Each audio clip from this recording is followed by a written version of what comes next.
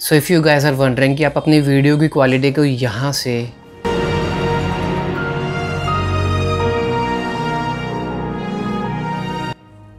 यहाँ तक कैसे लेके जा सकते हो?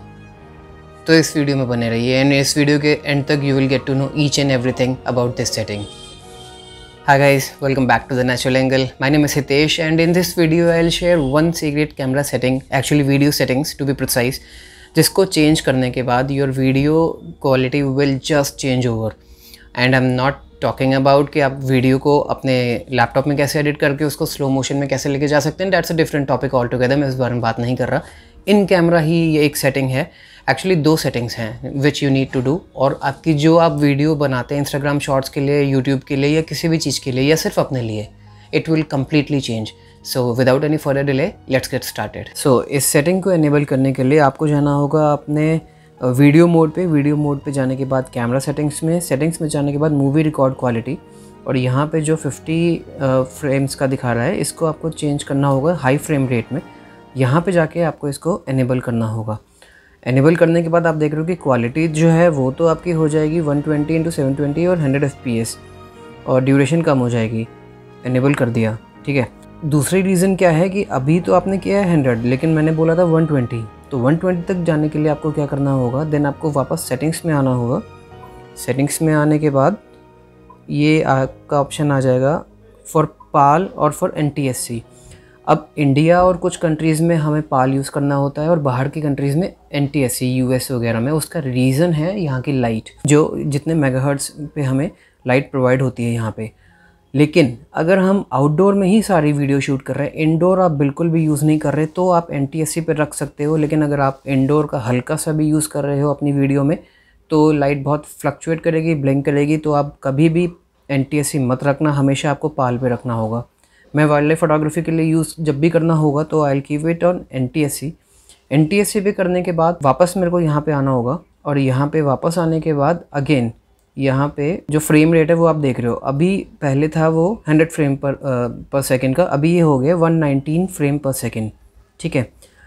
ये अगर मैं इसको डिसेबल कर दूँगा तो आप ये देखिए कि अगर जिसको मैंने डिसेबल कर दिया तो उसके बाद अब यहाँ पे जो फ्रेम्स है वो पहले पाल में मिलते हैं 25, 50 और 100 एफ़ इस पे मिलेंगे 23.98 देन 59.94 और 29.97 इस तरीके से। तो ये दो सेटिंग्स हैं, इसको आप जब भी ट्राई करेंगे, इसमें आपकी वीडियो इस तरीके से पूरी चेंज हो जाएगी। और एक चीज़ कि अब मेरे को शटर स्पीड वगैरह जितना रखना है, वो अगर मैं रख रहा हूँ आपका हंड्रेड फ्रेम पर सेकंड पे तो मेरे को शटर स्पीड रखना होगा 200 फ्रेम पर सेकंड जो कि एक थंब रूल बोला जाता है कि जितना आपका फ्रेम पर सेकंड है शटर स्पीड उससे डबल होनी चाहिए।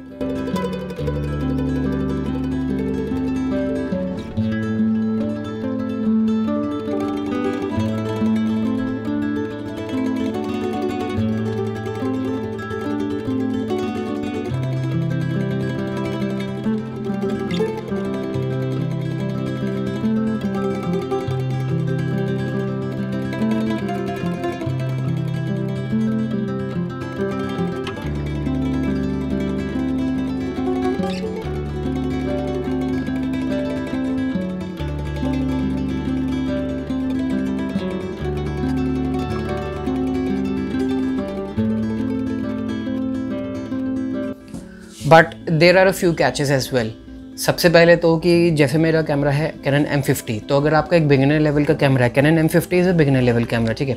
सो so, अगर आपका भी इसी तरीके का कोई कैमरा है then you may avoid it because ये उस टाइम पे जब आप जूम इन जूम आउट कर रहे हो ये हंड्रेड एफ़ या फिर वन ट्वेंटी एफ़ अगर आप यूज़ कर रहे हो तो उस टाइम पे ये फोकस नहीं करेगा। मतलब कि ये पूरा वाइड में फोकस कर लेगा। You won't be able to select a particular region कि मेरे को सिर्फ़ इस जगह पे फोकस करना है, वो नहीं होगा। ये ठीक भी है और नहीं भी है, मेरे को इससे रिलेटेड इतना इशू नहीं हुआ है अभी तक।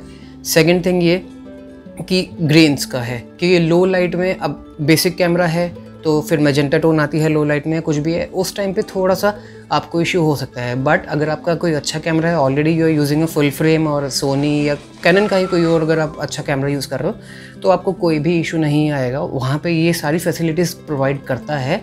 And I would suggest you should try it once और इस सेटिंग को यूज़ करने के लिए भी आई वुड सजेस्ट जो मैंने लास्ट टाइम आपको एक मेन्यू बार के बारे में बताया था विच यू कैन कस्टमाइज उसमें अगर आप इसको रख दो तो on field within few seconds आप इसको सेटिंग को बहुत ईजिली चेंज कर सकते हो। मेन्यू बार से रिलेटेड वीडियो नहीं देखी है देन सब्सक्राइब कर लेना। सब्सक्राइब करने के बाद उस वीडियो का ऑलरेडी आपको लिंक मिल रहा होगा just go and watch it and stay tune for more videos